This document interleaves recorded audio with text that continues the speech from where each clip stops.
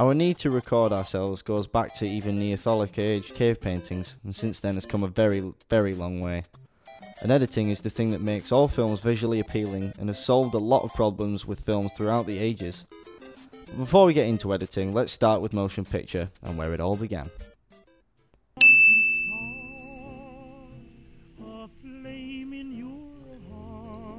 The earliest known motion picture is this, the Roundhay garden scene.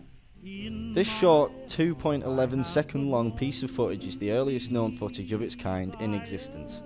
Made in 1888 by Louis Le Prince, it is the first celluloid film ever made. Auguste and Louis Lumiere were famous for their arrival of a train at La Ciotat, which was shown to an audience.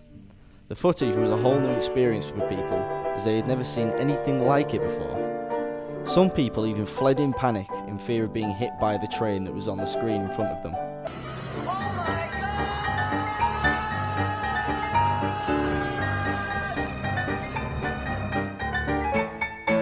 The brothers are renowned as the earliest filmmakers in history. The silent era. An era film which didn't have any editing or configuration at all. It was clips that were constant and had piano music playing alongside them.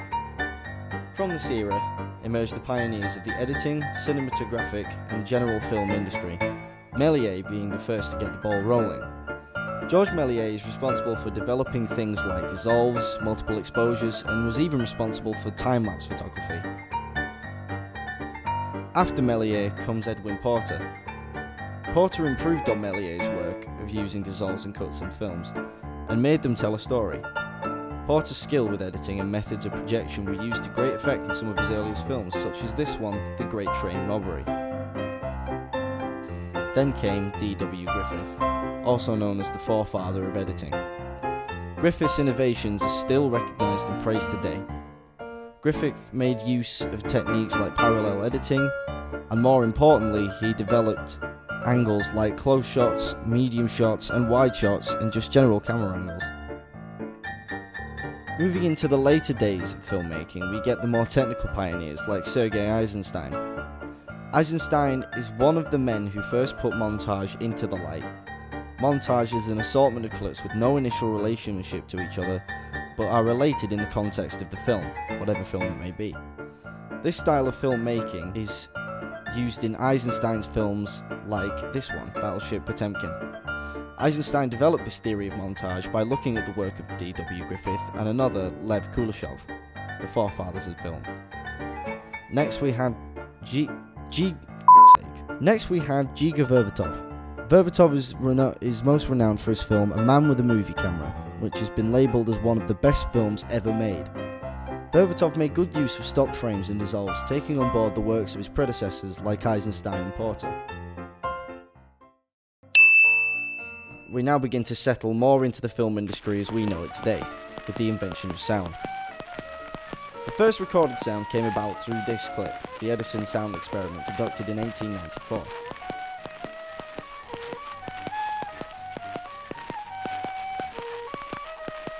Boy, that escalated quickly. In this next clip is the first film to use sound.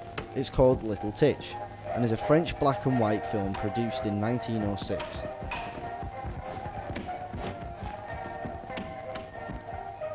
Sound was put to great use by directors like Fritz Lang and Alfred Hitchcock, but sound was disapproved by some as they believed that sound was taking cinema back to theatre and was considered as a step backwards. That's a damn shame. Yes, Vince. Yes, it is. The next phase of the evolution of editing comes around with the birth of cinema verite. Out of this style of filmmaking came great directors, Jean Luc Godard being one of them. Godard's films, like this one, Breathless, challenged Hollywood's traditional film style, which is why it appealed to so many. He was an influential filmmaker in the French New Wave. Francois Truffaut was another influential figurehead of the cinema verite wave. Truffaut was responsible for 25 outstanding films. Here is some footage from his film The Sil- Silken Skin, made in 1964, another film benefiting from the already rising popularity of its genre.